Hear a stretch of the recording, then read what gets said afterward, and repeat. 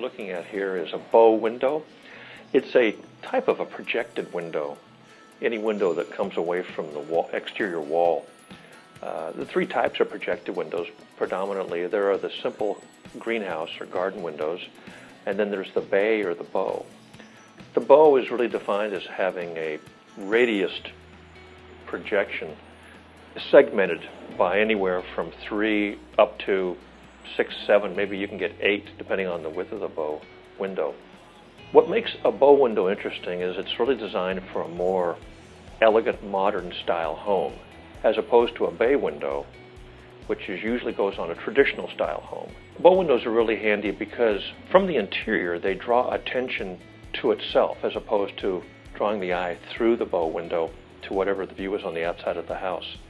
It's great for kitchens or on a side yard where the side yard's not particularly attractive and you want to draw the, the eye to the window but not through the, the side yard that may not have any viewing potential. On the bow window, like the bay, we can put different colored roofs on there. We can do uh, accented colors, contrasting colors, or we could do a copper roof too. Bow window typically will have two casement windows, one on either side, with the center windows, whether it's uh, two like you see here, or three or four, they'll be solid fixed picture windows.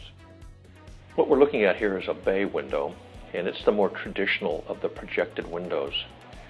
It's really, it's really designed for a more traditional style home, a colonial style, if you will.